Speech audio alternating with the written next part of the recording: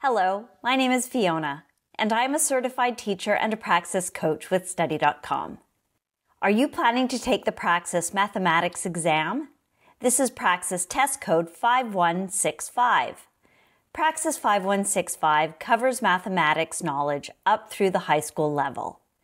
This problem set covers the subtopic content area of Task of Teaching.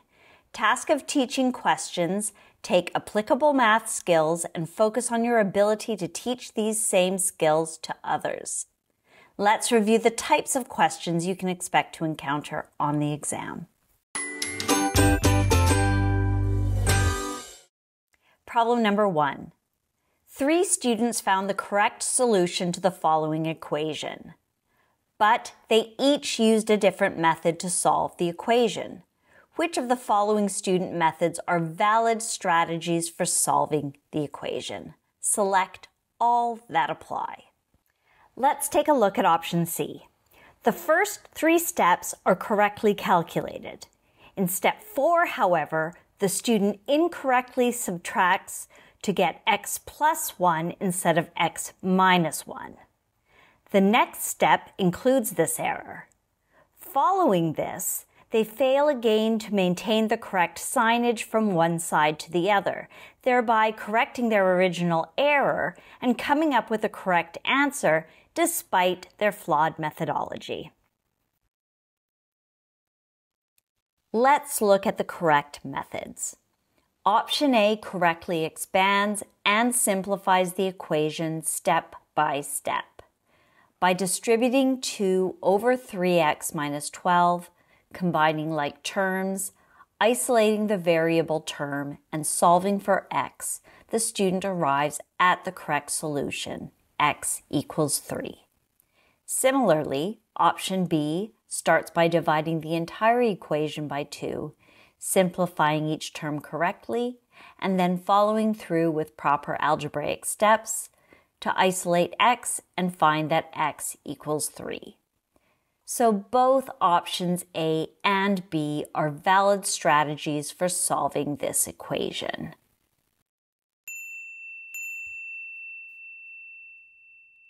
Problem number two. Mr. Smith asks his students to simplify the following expression. The following is one of his students' solutions. Has the student made an error here? And if so, at which step? Option A states that the student's solution is correct, which is not true because there are mistakes in the calculations. Option B suggests that the error is at step 2. This is correct because step 2 incorrectly distributes negative 7 over the terms inside the parentheses. It should be negative 7y plus 7x, not negative 7y minus 7x. Option C states that the error is at step 4, but step 4 is correctly simplified. The correct answer is option D. The student's solution is incorrect with errors at both step 1 and step 2.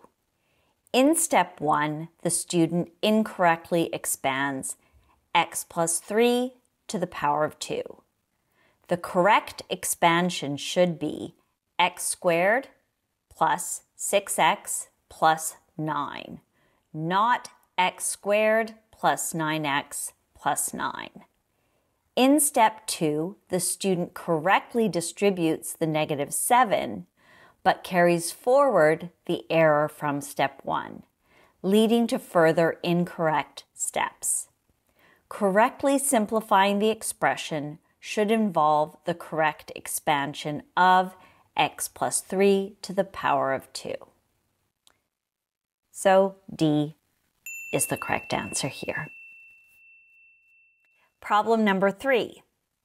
Ms. Juarez is teaching a lesson on probability to her first grade class.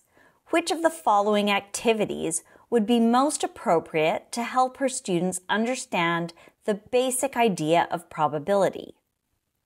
Have students solve simple probability problems using fractions. Give students a bag of blue and red marbles and ask them to predict which color they will pull out more often. Ask students to create a probability tree diagram for flipping a coin.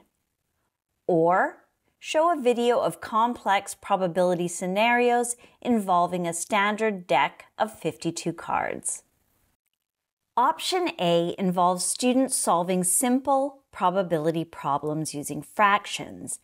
This might be too advanced for first graders who are just beginning to understand numbers and basic math concepts. Fractions can be abstract and challenging for them to grasp. Option C asks students to create a probability tree diagram for flipping a coin, which again might be too complex and abstract for young children at this stage of their learning. Finally, option D involves showing a video of complex probability scenarios involving a standard deck of 52 cards. This is not only too advanced, but also might overwhelm the students with unnecessary complexity and fail to engage them effectively. The correct answer here is option B. Giving students a bag of blue and red marbles and asking them to predict which color they will pull out more often is a hands on, engaging activity that is appropriate for their age and skill level. It introduces them to the basic idea of probability in a tangible and intuitive way, making the learning process fun and interactive.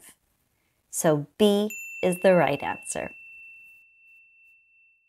I trust I was able to clarify the types of questions you will find about the subtopic of task of teaching for the Praxis 5165 mathematics exam.